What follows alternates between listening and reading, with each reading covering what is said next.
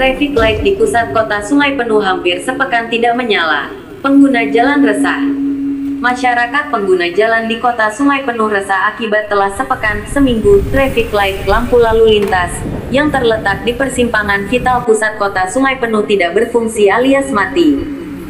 Dari pantauan suara Independent News, KomTV pada Sabtu pagi 3 September 2021 terjadi kesemrawutan akibat matinya lampu lalu lintas hampir di seluruh lokasi atau titik-titik vital ini.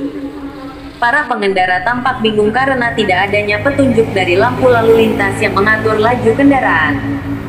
Masih dalam pantauan suara independen. News.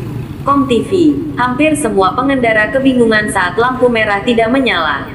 Joni Tanjung salah satu pengendara mengungkapkan, matinya lampu merah di persimpangan tersebut juga berakibat rawan kecelakaan. Sebab lalu lintas kendaraan cukup ramai. Jangan sampai menunggu korban jatuh dulu baru diperbaiki. Kalau pagi dan pulang kerja, di simpang, raya sangat ramai. Harusnya direspon cepat. Kata Joni Tanjung. Sementara itu, Suhendri pengamat transportasi dari desa Tarutung.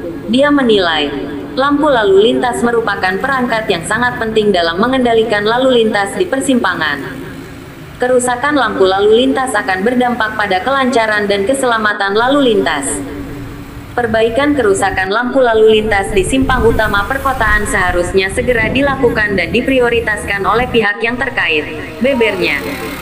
Dari kota Sungai Penuh Edi Tanjung Suara Independen mengabarkan.